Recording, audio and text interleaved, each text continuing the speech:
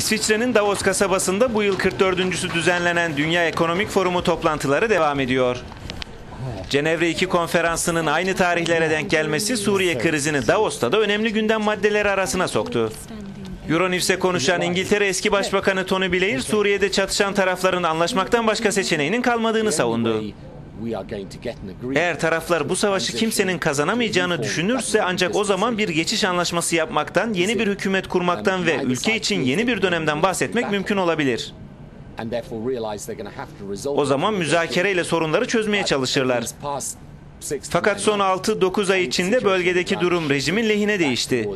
Batı'da bizim kendimize sormamız gereken muhaliflerin eşit şartlarda pazarlık etmesini nasıl sağlayabiliriz? Öte yandan şimdi muhalefetin kendi içinde farklı komplikasyonları var ve bundan kesinlikle memnun değiliz. İran'ın Cenevre 2 toplantılarına davet edilmemesine de değinen Blair, konunun tartışıldığı kadar önemli olmadığını ifade etti. Ben açıkçası asıl sorunun İran'ın davet edilip edilmemesi olduğunu düşünmüyorum.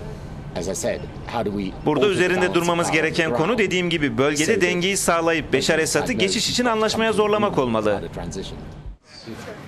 Cenevre 2 konferansı 3 yıldır süren iç savaştan dolayı 130 binden fazla insanın yaşamını yitirdiği Suriye'de geçiş hükümeti kurulmasını içeren siyasi bir çözüm bulmayı amaçlıyor. Ancak görüşmeler Esad'ın görevi bırakıp bırakmayacağı konusunda kilitlendi.